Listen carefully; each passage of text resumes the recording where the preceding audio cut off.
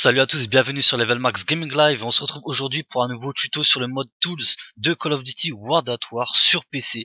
Donc on va commencer à créer notre première map. Donc tout d'abord, il vous faudra vous rendre dans votre dossier d'installation du jeu. Donc pour ma part, moi, vu que je ne suis pas sur euh, sur Steam, je suis dans mon programme file Activision Call of Duty World at. Il vous faudra rentrer dans le dossier bin donc c'est pareil hein, pour ceux qui ont la version Steam, vous allez dans le dossier bin. Et là, vous allez lancer le launcher en tant qu'administrateur bien sûr. Donc moi je vais faire un petit clic droit. Euh, le PC galère là, je sais pas ce qu'il arrive. Hop. Voilà. On le lance en tant qu'administrateur. On va attendre qu'il s'ouvre. Voilà. Donc, la seule chose que vous avez à faire, c'est cliquer sur converteur directement. Vous faites que ça, converteur. Ici, vous aurez plein de messages comme quoi, euh, bon, la, la, console est en train de travailler. Et une fois que ça sera fini, ça sera euh, marqué ici, il y aura une ligne, euh, enfin, vous attendez dans tous les cas. Si vous avez marqué erreur 1, ne vous inquiétez pas, c'est normal, il n'y aura pas de problème. Donc, vous cliquez sur converteur, une seule fois ça suffit, vous attendez que tout se termine, ça prend pas très longtemps, même pas 5 minutes, vous attendez et c'est bon. Une fois que c'est terminé, vous pouvez fermer le launcher. Et là, cette fois-ci, il faut ouvrir UGX script placeur 2.0.1. Bon, là, il montre pas le, point 1, mais c'est 2.0.1. Ce logiciel, il se télécharge sur un site euh, qui s'appelle UGX. Je vous mettrai le lien euh, du téléchargement sur euh, la description de la vidéo, bien sûr. Euh, je vais faire en sorte de, de mettre le lien moi-même, le fichier moi-même sur euh, sur le net. Comme ça, ça vous évitera de, de, créer un compte sur le site pour pouvoir le télécharger. UGX est un site qui vous permet de télécharger euh, certains logiciels et aussi des maps pour le custom zombie.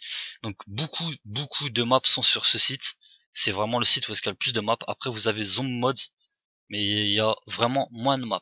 Je vous conseille plus UGX, c'est vraiment le site qui est calé sur le custom zombie.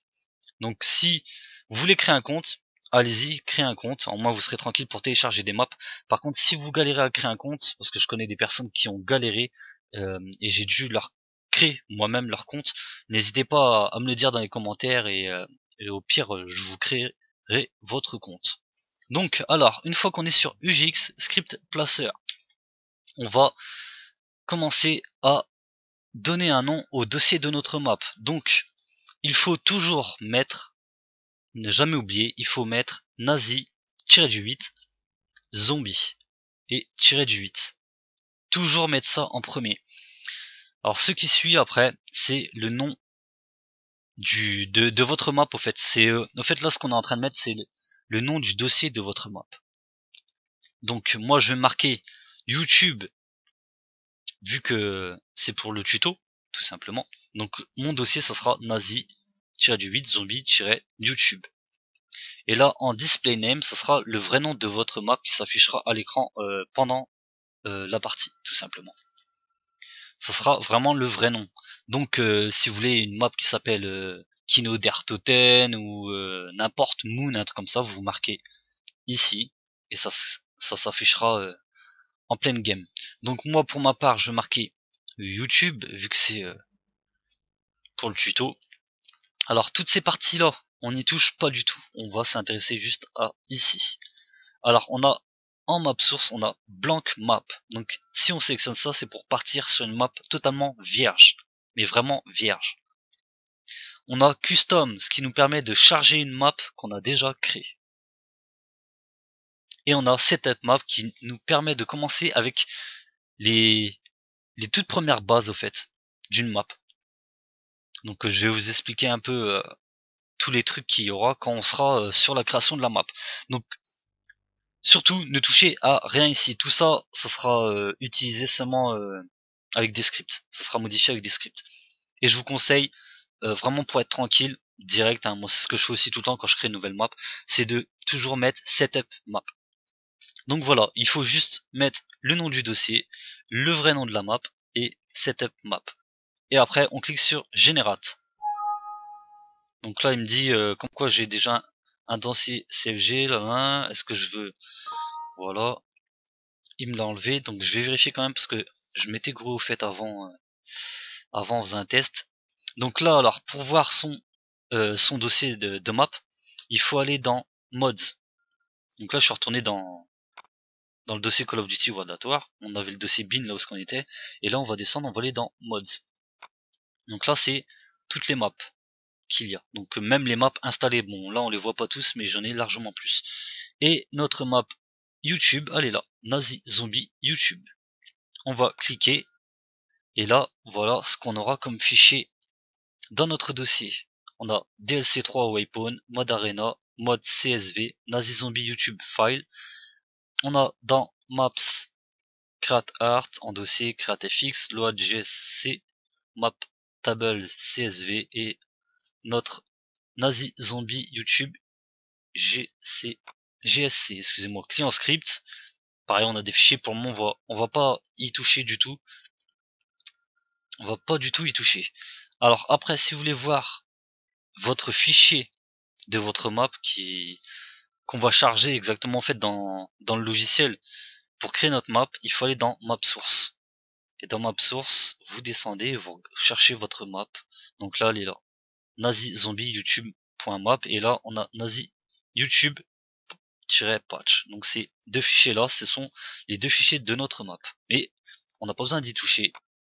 Là ce qu'on va faire maintenant c'est qu'on va créer notre map. Alors je vais fermer UGX script placer parce que ça ne sert plus à rien de le laisser ouvert et maintenant on va aller dans bin et on va lancer code wow radiant c'est le logiciel qui nous permet de créer notre map. On fait un clic droit, exécuter en tant qu'administrateur. Hop, c'est parti, let's go. Donc nous voici maintenant sur le logiciel Radiant. On va tout simplement charger notre map. Donc on fait File, Open. On va aller chercher notre map. Donc bien sûr, c'est assurez-vous que ce soit bien dans le dossier Activision Call of Duty World Map Source. Donc moi je vais descendre, chercher ma map YouTube. Donc elle est ici, YouTube. Donc on a .map ou on a la YouTube patch.map. Ce qu'il faut ouvrir c'est la YouTube.map tout simplement. On double-clique pour ouvrir. Donc nous voici là sur la map de base qu'on a créé. Donc comme je vous avais dit, hein, il y aura vraiment les, les, trucs de base pour commencer sa première map.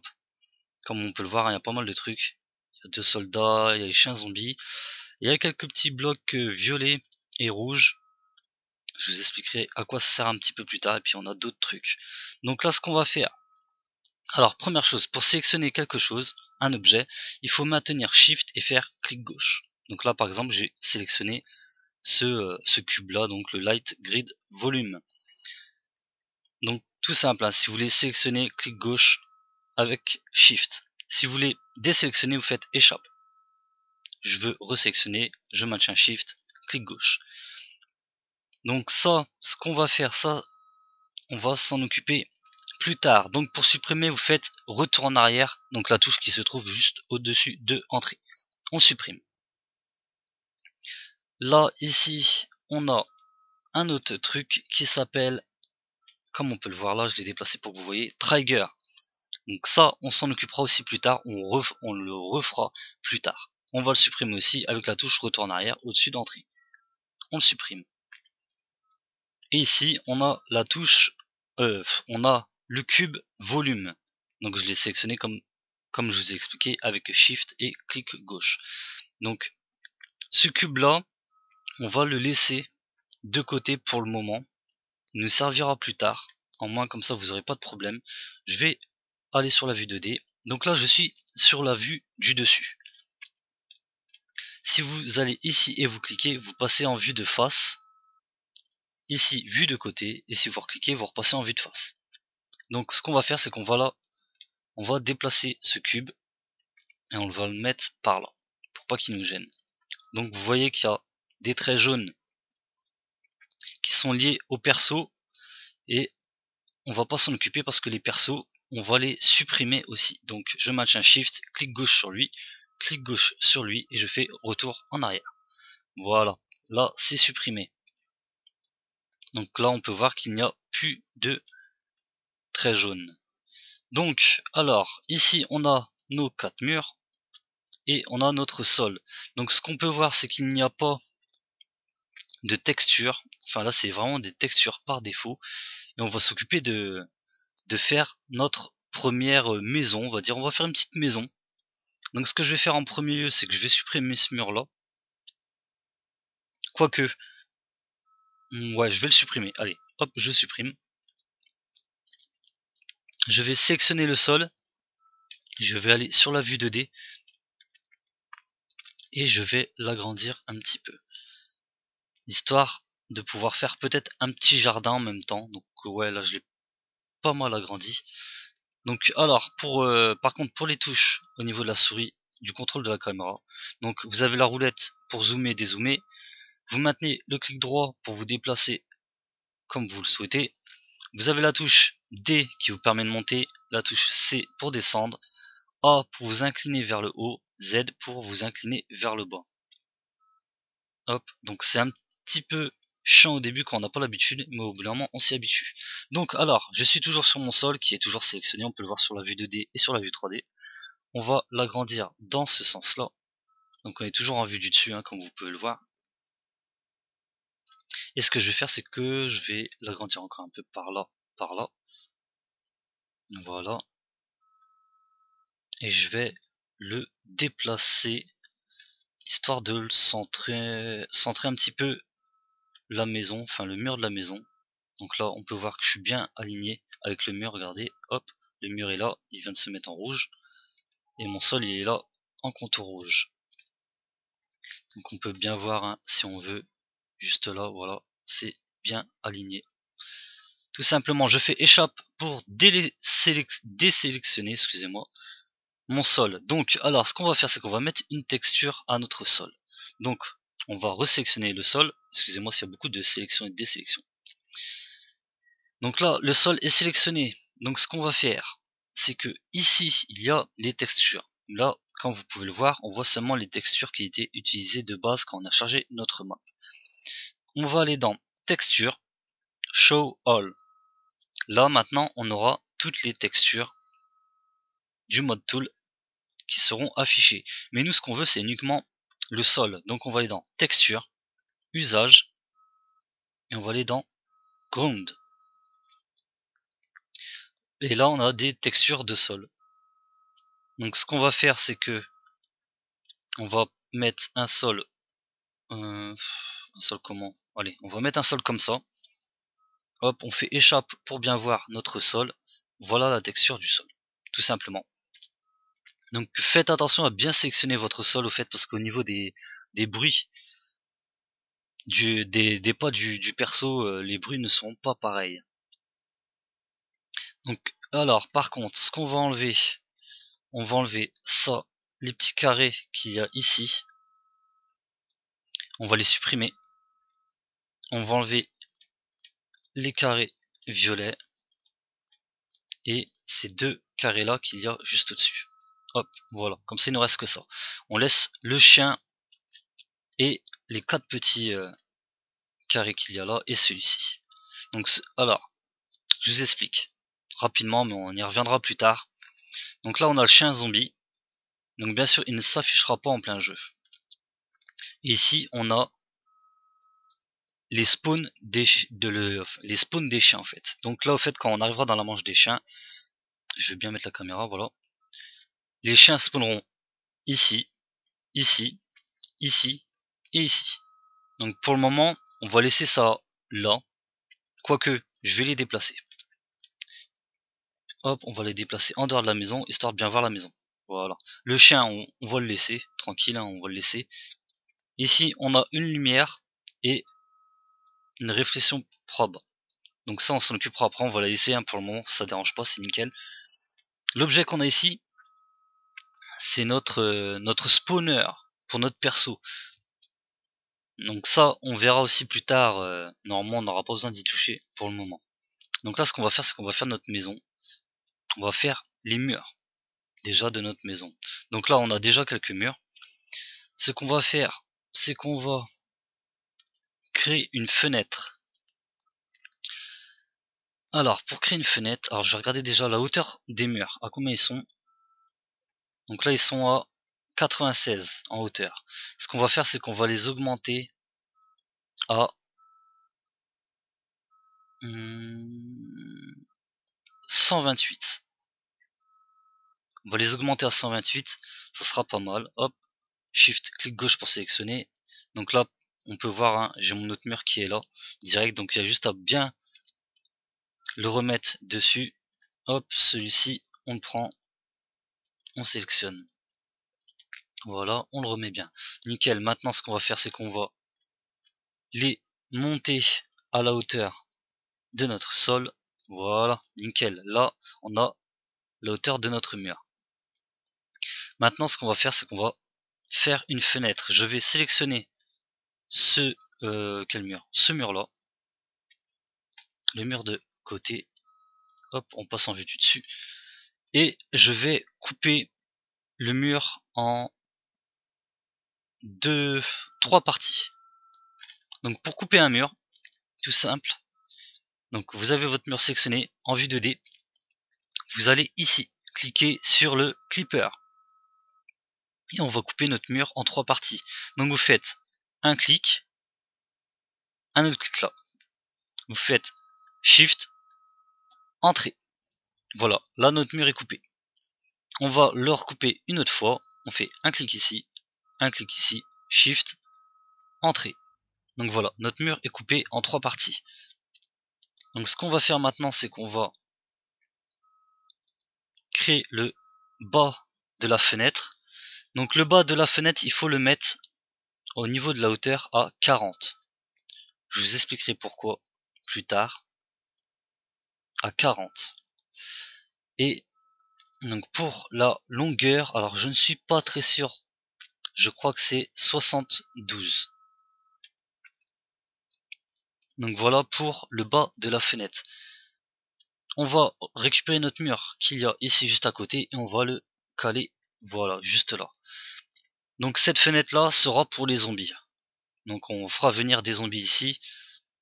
Et je pense euh, ça sera... Je vais en mettre une là aussi, ici. Donc ce qu'on va faire c'est qu'on va juste prendre le mur. On passe en vue du dessus. On va le rétrécir comme ça. Hop. On va récupérer notre petit mur là et on va le dupliquer. Alors pour dupliquer, il suffit juste de faire espace. Hop, voilà, notre mur est dupliqué et on va le mettre à côté de notre mur qui se trouve ici. On vérifie bien qu'il n'y ait pas de problème de hauteur. Donc là c'est bon, je suis bien par rapport à mon sol, c'est nickel. Je vais récupérer le mur là en se sectionnant et on va le dupliquer aussi. On fait espace et je vais le mettre voilà juste à côté. Donc là on peut voir que par rapport au mur qu'il y a ici, mon mur là il dépasse vachement. Regardez là le mur que j'ai sélectionné et le mur qu'il y a en bas. On va le mettre au même niveau. Donc on va clic gauche sur le au niveau du petit trait et on va le rétrécir à la bonne hauteur. Voilà, nickel. Là ce qu'on va faire c'est qu'on va prendre le mur ici et on va le dupliquer. Donc on fait espace et on va le mettre de l'autre côté pour fermer notre maison. Donc là notre maison est fermée. Il va falloir faire une porte par contre. Donc pour faire une porte, enfin l'ouverture de la porte, hein, on lui mettra un débris. On verra ça dans le prochain tuto. Hein. Là pour le moment je vous fais juste une, première base, hein, on va dire, au moins vous allez vous comprendrez un petit peu comment ça se passe pour la création de la map. Donc ce qu'on va faire, c'est qu'on va prendre un modèle de perso. Donc je vais faire une petite sauvegarde. Pensez à sauvegarder de, temps en temps, file, save. Parce que des fois ça arrive que le logiciel plante. Donc si vous voulez être tranquille, sauvegardez. Donc il manque les dessus des fenêtres, hein, vous inquiétez pas, on s'en occupera après. Je je vais vous montrer donc euh, ça sera une base à retenir hein, au niveau de, du bas de la fenêtre et du haut de la fenêtre. Ça vous servira pour plus tard une fois que, je les aurai fait. Il y aura juste à les récupérer, faire du copier-coller. Au moins vous êtes tranquille. Donc ce qu'on va faire, c'est qu'on va faire clic droit. On va aller dans Actor, Ali, Russe, Commissar, Pistole. Là ça va nous mettre un perso sur la map. Voilà, le perso il est juste là. Donc on peut voir que le, euh, le mur est assez... Les murs sont assez hauts quand même. J'ai fait un peu le fou. Bon, ça, après, ça à vous de voir, hein, mais bon, au moins, là, le mur est pas mal. C'est assez haut. C'est pas grave, hein, c'est qu'un détail. Après, ça à vous de trouver les, bonnes dimensions. Moi, j'ai pas noté euh, les dimensions sur un bloc-notes exact. Donc, on a notre perso de sélectionner. On va regarder s'il est bien sur le sol. C'est nickel. Ce qu'on va faire, c'est qu'on va repasser en vue du dessus. On va le mettre ici. Juste là. Donc c'est vraiment pour avoir une petite base. Je vais le descendre un petit peu. Voilà, on va mettre là, comme ça. La porte, sera en face de lui. Donc pour la porte, alors je désélectionne avec échappe mon perso. Je sélectionne Shift, clic gauche, le mur ici. Et on va clipper notre mur. Donc on va laisser un carré de distance pour l'ouverture de la porte. Donc on va faire clipper. On va cliquer une fois ici, une fois là. On fait Shift, Entrée. On va le refaire ici en bas. On clique une fois, une deuxième fois, Shift, Entrée. On fait échappe pour désélectionner.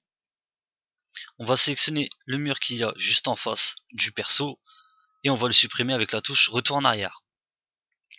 Voilà, là on a l'ouverture de notre porte, tout simplement. Donc ce qu'on va faire là maintenant, c'est qu'on va appliquer une texture à l'intérieur et à l'extérieur. Ou quoique, quoique... Euh, non, non, non, non, non. Ce qu'on va faire, c'est qu'on va mettre directement les, les dessus de fenêtre pour être tranquille. Donc là, je fais une sélection du bas du mur, je fais espace, hop, je le recale, je change de vue, je le monte en haut et on va le réduire à 16 ça me paraît correct. On va descendre un petit peu la caméra. Voilà 16 ouais ça, ça me paraît correct 16 ça me paraît bien. On va repasser en vue du dessus. On va le dupliquer avec espace.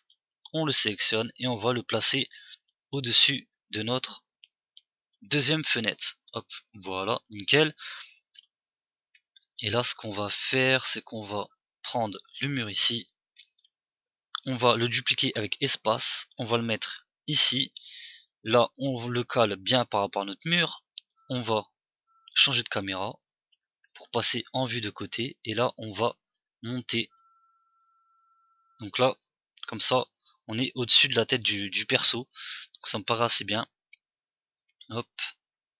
On va peut-être le monter encore un petit peu.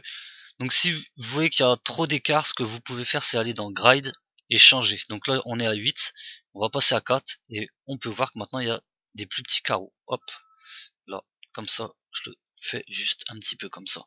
Nickel. Hop, on fait échappe. Donc voilà, là on a le contour de, la maison qui est fait. Donc ce qu'on va faire là maintenant, c'est qu'on va pouvoir mettre la texture intérieure. Donc alors, je vous ai expliqué, pour sélectionner un objet, il faut faire Shift, clic gauche. Donc là, l'objet du, enfin le mur est sélectionné, l'objet est sélectionné, mais on peut voir qu'au fait, il y a vraiment tout qui est sélectionné. Donc la face ici, la face là, la face de l'autre côté, l'intérieur aussi, etc. Nous, ce qu'on veut, c'est qu'on veut seulement faire la texture intérieure. Donc là, on va faire échappe, donc pour sélectionner la texture intérieure seulement, il faut faire maintenir CTRL, maintenir SHIFT et clic gauche.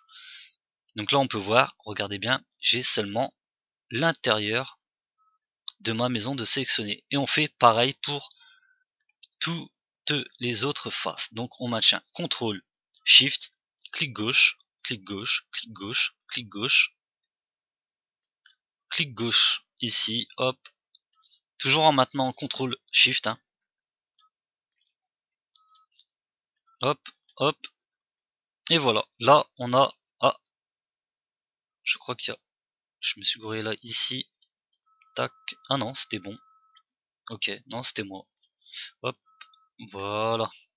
Là, c'est nickel. On a que l'intérieur. Voilà, c'est nickel. On va aller maintenant dans texture, usage, et on va aller dans intérieur wall. Et là, on a des textures de murs intérieurs. On va prendre une petite texture tranquille, on va prendre celle-ci. Hop. Donc là, on peut voir par exemple que la texture est un peu trop descendue. Alors, je crois qu'il manque un petit bout en bas, je ne suis pas sûr.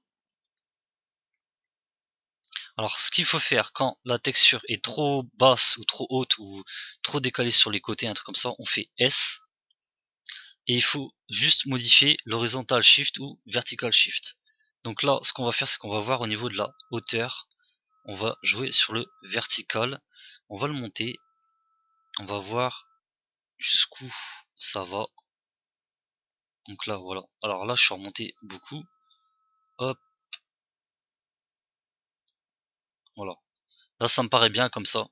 Et on, fait down. Voilà. Là, la texture est faite. On a notre texture intérieure. Donc il y a un petit peu de bord d'en bas qui arrive en haut. Ce qu'on va faire, c'est qu'on va le modifier tout de suite. Euh, pour être tranquille. Je crois, si je me trompe pas, on sélectionne tout avec Shift. J'avais vu un petit peu trop haut au niveau de mon mur. On va descendre, enfin on va aller sur la caméra 2D et on va le remonter d'un petit cran. Et là on va leur descendre d'un cran. Maintenant ce qu'on va faire c'est qu'on va redescendre notre texture. On va se mettre euh, là, ouais, comme ça. On va reculer un petit peu la caméra. On refait S et on va la monter. Alors, on va essayer de trouver le bon point exact. Alors, là, là, là, on peut voir que je suis beaucoup trop remonté. Donc, on va redescendre pour bien la mettre. Donc là, ça me paraît assez bien. On fait down, échappe. Ah, il y a un petit délire avec cette texture, ça me paraît bizarre. Ah ouais, on est encore un peu trop haut. Donc, CTRL Z pour tout resectionner, ce qu'on avait fait juste avant. On refait S. Et on va descendre cette texture. Voilà. On fait Down. Donc ça remonte encore, c'est encore un petit peu en haut. Bon, c'est pas grave, c'est qu'un détail. C'est que le, le mur au fait est un peu trop haut. Tout simplement. Donc ça c'est pas grave, c'est un détail, hein. ça c'est à vous de bien gérer la hauteur de votre mur. Après ça dépend des textures aussi. Donc là on a fait l'intérieur. Ah, l'extérieur aussi il a été fait, bon c'est pas grave. De toute façon on va le modifier là tout de suite. Donc on fait CTRL, SHIFT, clic gauche, clic gauche. Voilà, là on va sélectionner tous les côtés extérieurs de notre maison. Donc faites bien attention de bien tout prendre et de rien oublier. Toujours en maintenant CTRL SHIFT. Hein. Voilà. Là, c'est nickel. Donc maintenant, ce qu'on va faire, c'est qu'on va aller dans Texture, Usage, Extérieur Wall. Et là, on a nos textures de mur extérieur, excusez-moi. On va faire tout simple, on va mettre des pierres comme ça, voilà, tout simplement. On va faire échappe, et voilà, là on a notre mur extérieur qui est nickel. Et on a l'intérieur qui est nickel aussi ici.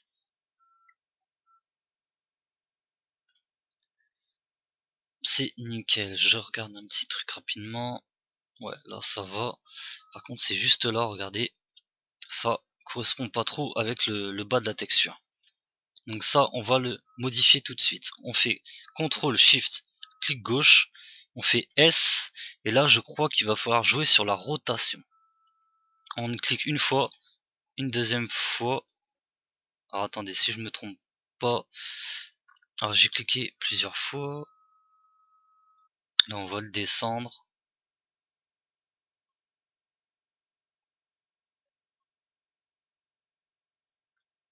Voilà, on va mettre ça comme ça au milieu.